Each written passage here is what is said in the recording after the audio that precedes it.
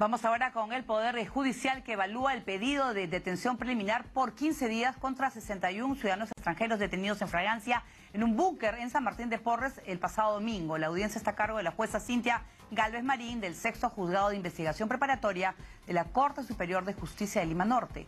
A los detenidos que provienen de Venezuela y de Colombia se les investiga por presuntos delitos contra la seguridad pública, tenencia compartida de armas y posesión de drogas. Ellos fueron hallados por la policía en un operativo en la urbanización Santa María del Valle en Cantacayao, donde se incautaron cinco armas de fuego, municiones, dinero y motocicletas utilizadas en hechos delictivos.